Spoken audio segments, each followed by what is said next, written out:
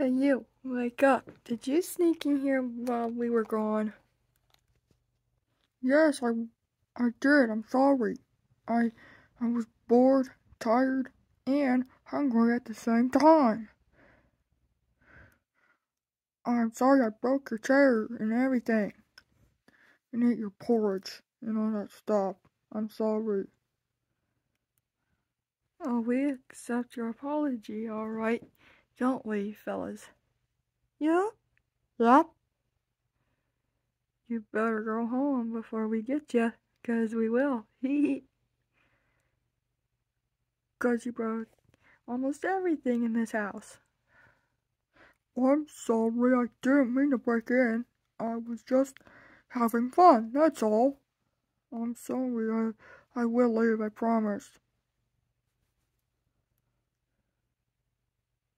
Well, that jet, now, now that Jeffy Locks is gone, what should we do now? Well, I don't know, Dad. Maybe we, uh, just deal with it? Yeah, honey, we should.